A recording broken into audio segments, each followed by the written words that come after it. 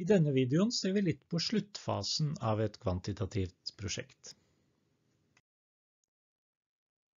Et sentralt poeng er å være veldig tydelig på studiens begrensninger.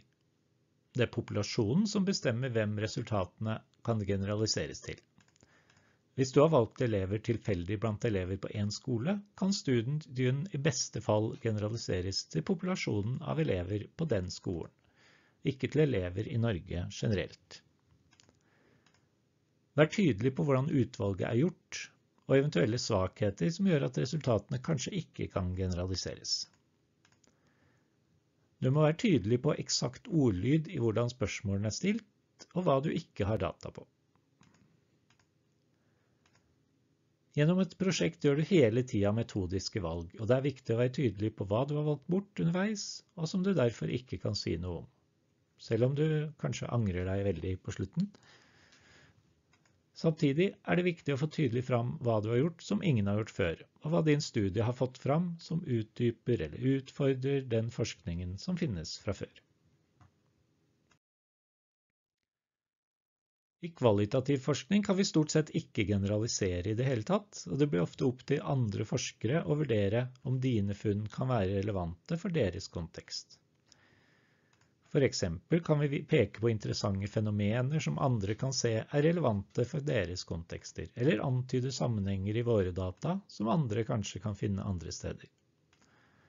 I kvantitativ forskning derimot kan vi ofte generalisere. Men vi kan altså i beste fall generalisere fra det utvalget vi har gjort, til den populasjonen som vi har trukket det tilfeldige utvalget fra.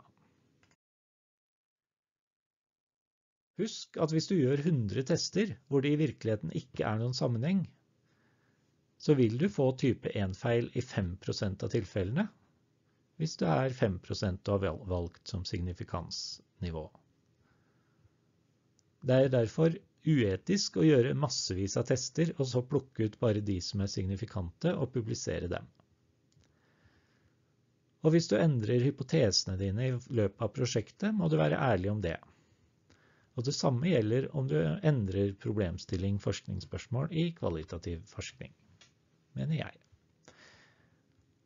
Hvis du prøver å kamuflere at du har endret kurs underveis, så vil det uansett ofte føre til at det er noen valg som framstår som litt snodige, og som ikke er så snodige når man vet at eh, du har, faktisk har endret kurs litt underveis. Vær ekstremt forsiktig med å påstå at du har funnet årsakssammenhenger.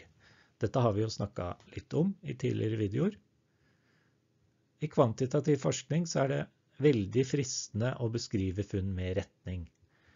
Elever som er fornøyd med matematikkundervisningen, scorer bedre. Veldig ofte kan det jo være omvendt av det vi tror. Kanskje det er de som scorer bedre, som er mer fornøyd fordi de gjør det så bra. Det er lett å formulere ting feilaktig som årsaker. I kvalitativ forskning er det noe lignende, for der er det veldig fristende å tilskrive forskjeller mellom informantene til bestemte egenskaper. Kanskje spesielt hvis designet er sånn at man intervjuer tre lærere som er ulike på en bestemt måte. Og det, sånne ting er det viktig å unngå.